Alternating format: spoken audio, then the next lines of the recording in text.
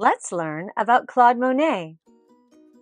Claude Monet was one of the most important and influential artists of the 19th and 20th centuries. He was born in Paris, France in 1840.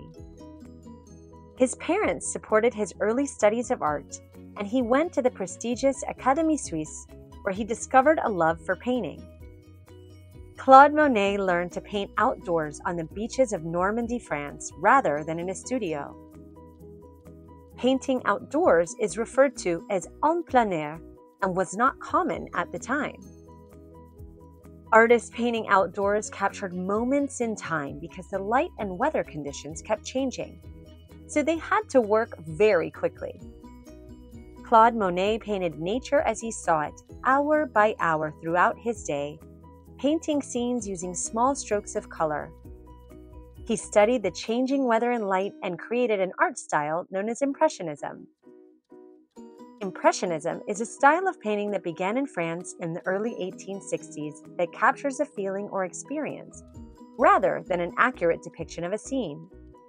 Monet used dots of pure color, which, when combined and seen at a distance, blended together like the pixels on a television, creating a complete picture. He would often paint the same scene over and over again, like haystacks and water lilies. The artist died in 1926 in Giverny, France, and he paved the way for abstract and modern art movements to come. Claude Monet's paintings currently hang in museums such as the Musée d'Orsay in Paris, the Art Institute of Chicago, and the Metropolitan Museum of Art in New York.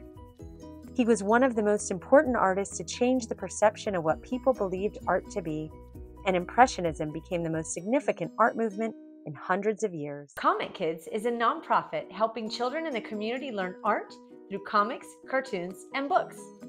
To learn more, see our website at comickids.org and follow us on Instagram. For more videos like these, like and subscribe to our YouTube channel.